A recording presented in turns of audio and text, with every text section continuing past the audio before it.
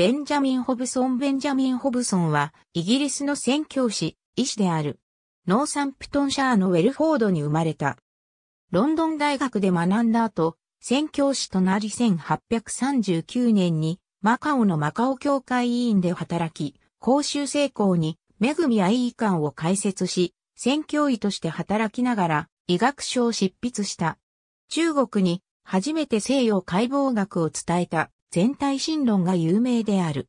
1856年10月第二次アヘン戦争が起こると上海に避難し、人沈み館で働いた。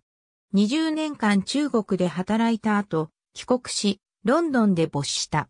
ホブソンの著作は、幕末から明治初期にかけて日本に伝わり、日本医学に影響を与えた。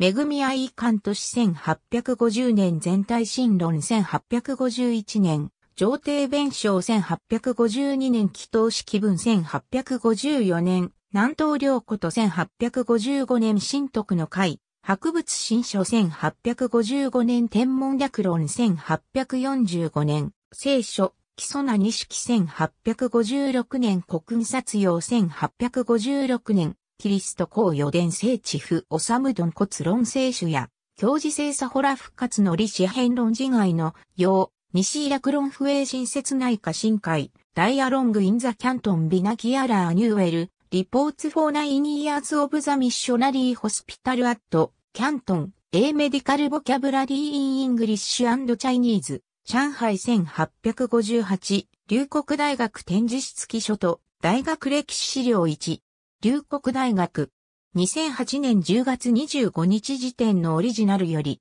アーカイブ、2012年3月7日閲覧。ありがとうございます。